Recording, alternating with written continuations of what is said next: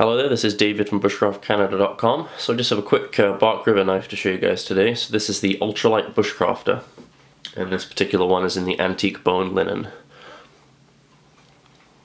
So just some quick specs. The uh, overall length is 7.4 inches. The blade length is 3.27 inches. The blade thickness is 2.25 millimeters, so quite a fine blade and the weight is 2.7 ounces, so quite a light one as well. So the steel is a CPM 3V steel, which is uh, very popular um, as used in most of the bark rivers, and it's an excellent steel, really high end, good edge retention, corrosion resistance, not too hard to sharpen, uh, but generally an excellent steel. A sort of uh, Bark River's top of the line steel. Um, so it comes with an excellent um, leather sheath with a fire steel loop, sort of a nice natural leather. Stitching's really nice, you can wear it vertically or horizontally.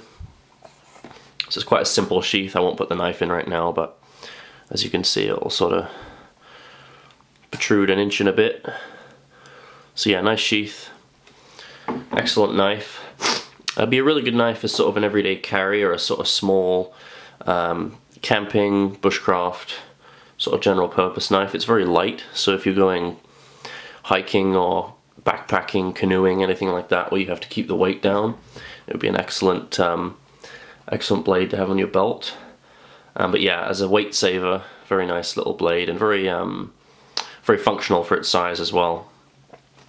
So yeah, excellent knife. I love the sheath as well. Um, we do quite a few different uh, variations of the handle material depending on what you like. So yeah, check them out at our site, www.bushcraftcanada.com.